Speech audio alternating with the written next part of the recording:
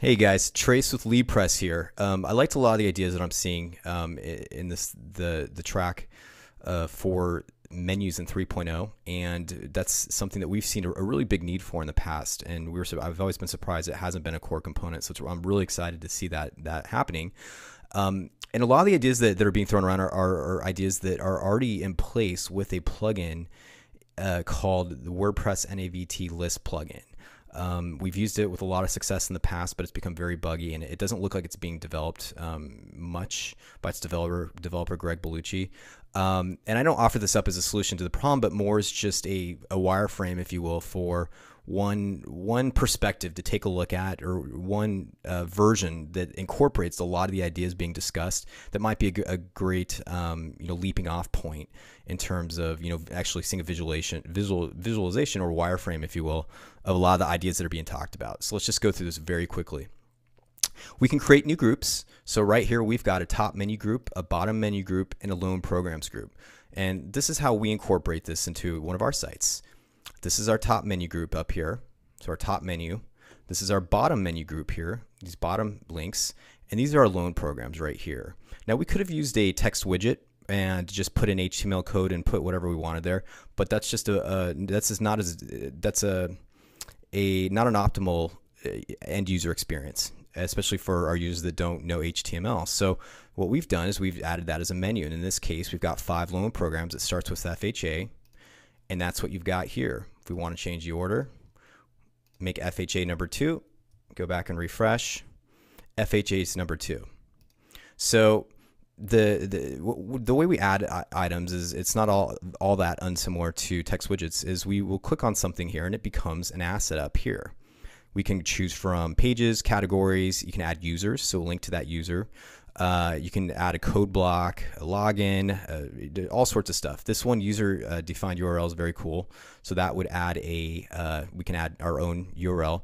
But let's just take a look at, at, at the functionality that's incorporated in here. Um, everything's going to be drag and drop. So let's say we want home to be the, um, let's do this. Let's, let's make uh, programs show up in the first position. It's as simple as that programs is now in the first position. Let's put that back real quick. So there's two, two very cool things that are going on here. Uh, one, we can create submenu items. So we've got company information as a submenu item and contact us as a submenu item.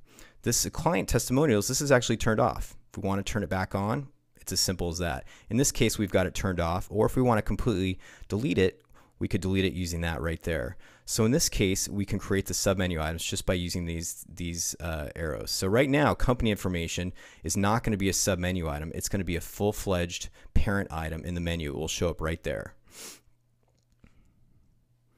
And again, it, it, makes the, the menu too big, but just to kind of show how that, that submenu capability is, is we found very powerful. And you can also create submenus as submenus. So when I hover over company, I'm going to get legal and privacy. So we've got company and then legal and privacy, and we can create keep creating submenu after submenu, which is has just been great. Um, the other really cool thing that you can do with this is let's say we want to call home something else. We want to call it purple home, or better yet, purple rain. So we do that. Okay, obviously that's going to change. And something else that we can do that's very cool is we can come down here. There's a lot of functionality I've never used. If we want to make this a no follow link, you've got that ability. Um, Greg has incorporated a lot of stuff that I've, I've never even gotten to, but things like a text over graphic, different CSS properties, and each one of these items as well, which these are these are inserted via PHP uh, call each of these groups has a ton of other items, which again, this is above and beyond what you know a first generation menu is going to have. But it's worth taking a, a, look at in terms of just you know getting some ideas and and learning a little bit. You can control where this navigation group will show up. So I mean that's very powerful. That's good stuff. Um, there's a, there's a lot of CSS stuff that you can get in here, which is is very cool and uh, I've never really gotten into the, the, themes and stuff. But if you want to insert your own uh, calls or you know define where menus will insert, that's where that goes. Anyways, I just I think it's a great starting off point. Like I said, we've used this with a lot of success, and unfortunately, we have a ton of websites we're gonna have to back this out of, which is gonna be uh, hopefully not too painful. But um, I think it's worth taking a look. If anybody has any feedback or questions, let me know. You can reach me at Trace at LeadPress. Thanks.